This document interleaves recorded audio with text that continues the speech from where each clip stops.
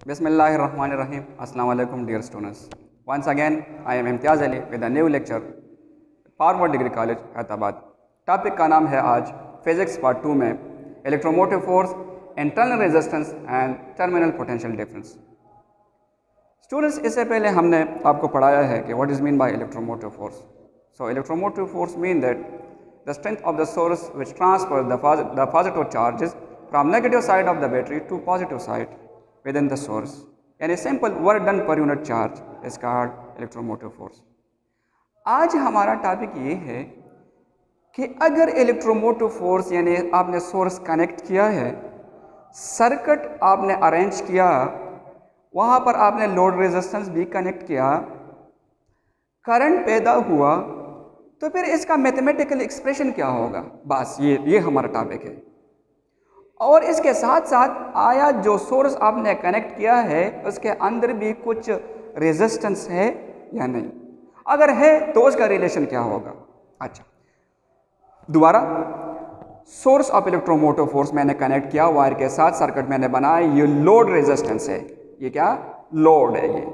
तो इसको कहते हैं रेजिस्टेंस यहाँ पर ये है इलेक्ट्रोमोटिव फोर्स ये है सोर्स ऑफ़ इलेक्ट्रोमोटिव फोर्स जिसने ट्रांसफ़र किए पॉजिटिव चार्जेस नेगेटिव साइड से पॉजिटिव साइड की तरफ़। This is called electromotive force ये इलेक्ट्रोमोटिव फोर्स हुआ। अच्छा। अब सर्किट बनाने के लिए मैथमेटिकल एक्सप्रेशन निकालने के लिए यहाँ पर एक रेजिस्टेंस तो ये है which is called load resistance और स्टूडेंट्स एक रेजिस्टेंस इस सेल के अंदर है, यानी इस सोर्स के अंदर भी है। जो हमें तो नज़र नहीं आ रहा, लेकिन है। क्यों? स्टूडेंट्स आप गौर से देखें, जब पॉजिटिव चार्जेस यहाँ से यहाँ तक आते हैं तो लाजमी बात है, ये सेल के अंदर वाल्स के साथ कोलिजन करेगा, आपस में भी कोलिजन करेगा। तो इसका मतलब ये हुआ कि जब पॉजिटिव चार्जेस इस पॉइंट से इस पॉइंट तक आते हैं तो ये कुछ न कुछ एनर्जी लॉस करता है। कुछ न कुछ, ज़्यादा नहीं, कुछ न कुछ, इंतहाई स्मॉल। तो इसलिए फिर इसको कहते हैं small resistance inside the cell. या इसको कहते हैं इंटरनल रेजिस्टेंस। लेकिन ये इंतहाई स्मॉल होता है। जो भी हो, लेकिन एनर्जी लॉस तो है, चाहे कम हो, बहुत कम हो, लेकिन है तो एक्चुअल तो है। अच्छा। अब इसका रिलेशन बनाने के लिए हम क्या करेंगे? चूँकि टोटल रेजिस्टेंस इस सर्किट में है दो। एक है बड़ा, जिसे लोड कहते हैं, एक है छोटा, जिसे इंटरनल कहते हैं स्मॉल तो टोटल रेजिस्टेंस हमारे पास है R equivalent is equals to R plus R ये आर क्या है? कैपिटल आर लोड रेजिस्टेंस है. और ये आर क्या है? इंटरनल रेजिस्टेंस है, जो इंतहाई स्मॉल है. अच्छा. स्टूडेंट्स आपको पता होगा ओहम्स हमें क्या बताता है? ओहम्स हमें ये कहते हैं कि the magnitude of electric current in any conducting wire in conducting wire is directly proportional to the applied voltage अच्छा। मैथमेटिकल एक्सप्रेशन उसका ओहम ला का ये है कि V is equals to I R लेकिन यहाँ पर तो V ये है। इसका मतलब ये है कि this is source of electromotive force और इसको हम डिनोट करते हैं E से। अच्छा। तो V की जगह हमने E लगाया। I अपनी जगह पर। और इस सर्किट में R है तो R तो यहाँ पर दो है। एक है लोड रेजिस्टेंस जो मैंने वहाँ पे एक्सप्लेन किया और एक है इंटरनल रेजिस्टेंस उसको भी हम काउंट करते हैं। तो total resistance is equals to R plus R तो हमने यहाँ पर फिट किया। क्योंकि मैं मैथमेटिकल एक्सप्रेशन निकालना चाहता हूँ और स्टेप बाय स्टेप निकालना चाहता हूँ तो वो ये हालाँकि हम कभी कभार इंटरनल रेजिस्टेंस को इग्नोर करते हैं। अच्छा।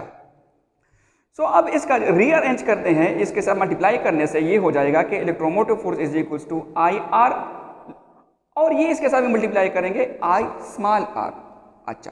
तो यहाँ पर हमारे पास ये एक इक्वेशन बना कि total electromotive force is equals to energy dissipated and load resistance plus energy dissipated and internal resistance inside the cell this is called energy dissipated in load and this is called energy dissipated inside the source. ठीक है? अब ये are भी है, ये भी आई R है, इसको क्या कहते हैं? आई आर ये आई आर ये है ये ये। तो यहाँ पर जो आई आर है रेजिस्टेंस है एनर्जी डिसिपेटेड है उसको भी तो पोटेंशियल कहते हैं। यहाँ भी, भी तो वोल्टेज है according to Ohm law is equal to I R तो उसको कहते क्या है?